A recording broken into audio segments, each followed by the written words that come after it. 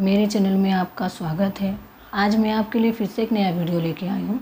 इस वीडियो में हम छोटे बेबी का लंगोट बनाना सीखेंगे। तो ये मैंने एक कपड़ा लिया है, जो कि रुमाल के साइज़ का है। आप रुमाल से थोड़ा बड़ा भी ले सकते हैं, क्योंकि आप जानते हैं रुमाल कि थोड़ा बड़ा, थोड़ा छोटा होता ही है। तो हमने ये चौकन का कपड़ा ले लिया है। तो चौकन हमने कपड़ा लिया, इसका कोई हमने मेज़रमेंट नहीं लिया है। सिर्फ़ साइड का हमने मेज़रमेंट लिया है। तो इस तरह हमें एक चौकन का कपड़ा लेना है। और हमें इस तरह तीन पट्टी लेना है। तो पट्टी हमें इस तरह, देखिए, इसका भी कोई मेज़रमेंट नहीं है। पट्टी आप छोटा या बड़ा अपने अनुसार कट कर सकते हैं। दो हमने पट्टी, दो बड़ी पट्टी ली है और एक हमने छोटी पट्टी ली है। तो देखिए, इसको जो हमने सीधा, ये सीधे की तरफ़ कपड़ा है और ये हमारा उल्टे की तरफ़ है। तो हमें क्या करना है, इसको इस तरह एक दूसरे से मिला के इस तरह रखना है। अब हमें इसका मेज़रमेंट लेना है। तो मेज़रमेंट यहाँ से, जहाँ हमारा ये लास्ट का एक कोना है तो इस तरह हमें देखिए। लास्ट का कोना है जो यहाँ पर रखना है और इसे क्या करना है, देखिए, यहाँ पर नापना है। तो ये मेज़रमेंट में चौदह इंच यहाँ का है तो चौदह इंच हमारा यहाँ भी आना चाहिए। तो इसको इस तरह फिर घुमाना है, फिर हमें यहाँ का भी मेज़रमेंट ले लेना। इस तरह इसको रखना है और फिर हमें फिर यहाँ का मेज़रमेंट लेके देखिए चौदह इंच हमारा ये भी। तो चौदह इंच यहाँ है तो चौदह इंच हमारा यहाँ भी होना चाहिए।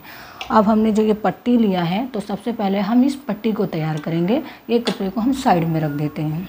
तो अब हमें प्यार पट्टी को क्या करना है, ये पट्टी को खोलना है इस तरह। पट्टी खोलने के बाद हमें एक फोल्ड इस तरह और एक फोल्ड इसके ऊपर रखना है। फिर इसके ऊपर करके एक फोल्ड, ये तीसरा फोल्ड हमें करना है। तो देखिए, पहला हमने क्या किया है? एक फोल्ड हमने यहाँ किया है, दूसरा फोल्ड इसके ऊपर, है ना? हल्का सा इसको टच करना है बस। और तीसरा हमने इसके ऊपर लिया इसी तरह हमें ये पट्टी को फोल्ड करके सीधी सिलाई लगाना है। तो देखिए, ये पट्टी को इस तरह मशीन में रखना है और इसको एक सीधी सिलाई लगाना है।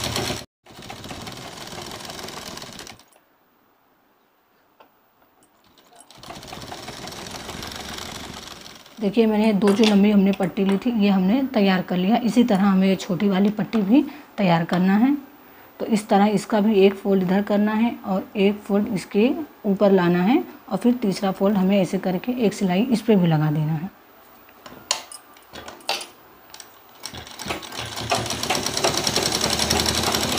हमने देखिए, तीनों पट्टी तैयार कर लिया अब हमें इसे साइड में रखते हैं।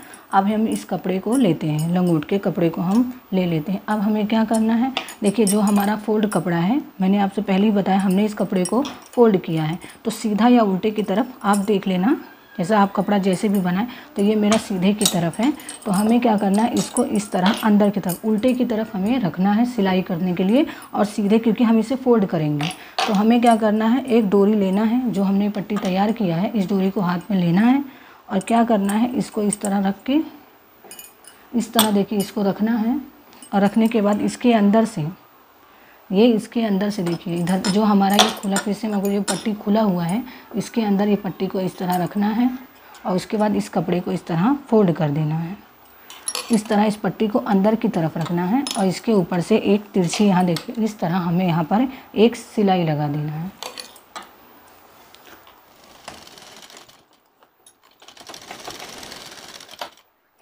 देखिए, मैंने यहाँ पर सिलाई जो लगाया है, फिर हमें यहाँ पर जो नोक, हमारा जो छोटी वाली पट्टी हम लगाएँगे, वहाँ पर हम जगह छोड़ देंगे सीधा करने के लिए।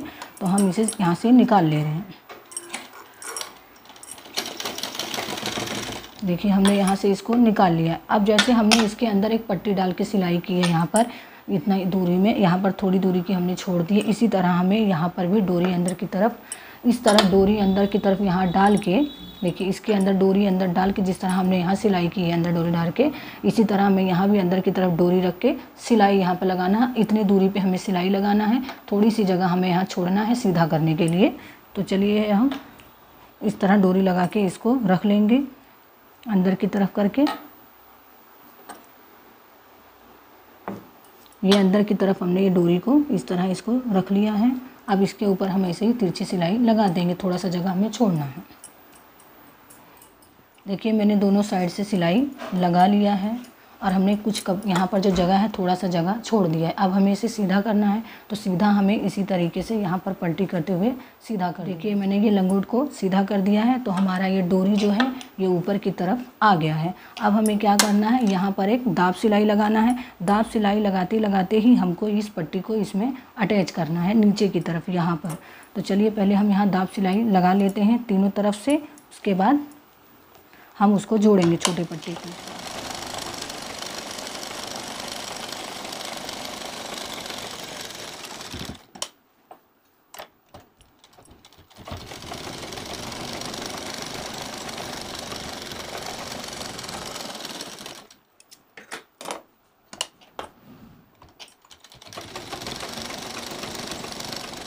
देखिए, हमने ये तीनों तरफ़ से दाब सिलाई लगा लिया है।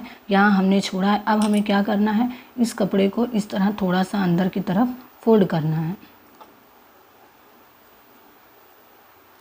इस तरह हमें अंदर की तरफ़ फोल्ड करना है इस कपड़े को।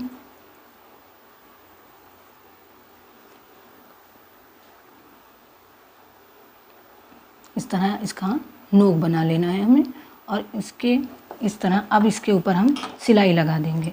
देखिए, इस तरह हमें अच्छे से कपड़े को इसमें फोल्ड करके इसके ऊपर सिलाई लगा लेना है। सिलाई लगाने के बाद इस पट्टी को यहाँ पर हमें जोड़ देना इस तरह। तो पहले मैं आपको सिलाई लगा के दिखा देती हूँ। देखिए, इसको इस कपड़ा में जो कपड़े हैं ना, इसको अच्छे से यहाँ पकड़ना है। देखिए, इस तरह। अब इसको सिलाई लगा देते हैं।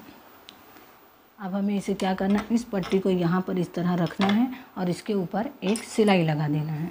इस पट्टी को देखिए, इस तरह ऐसे रख के इसके ऊपर एक सिलाई लगाना है मजबूती से ताकि ये निकले ना। देखिए, ये मैंने छोटी वाली पट्टी थी, इसको भी मैंने यहाँ पर सिल के तैयार कर दिया। इसी तरह हमें तीनों पट्टी लगाना है। और देखिए, सिलाई बिल्कुल भी नहीं दिख रहा है हमारा। तो इस तरह हमने इसको तैयार किया अब हमारा ये लंगोट जो बन के है, वो तैयार हो गया है। इस तरह हमें बाँध के देखिए तैयार हो गया है। तो अगर आप मेरे चैनल पे पहली बार हैं तो प्लीज़ मेरे चैनल को सब्सक्राइब करना ना भूलें। वीडियो को पूरा देखें, लाइक करें और कमेंट करना ना भूलें कि मेरी बताई गई छोटे बेबी की जो लंगोट है, वो आपको कैसी लगी। Thank you.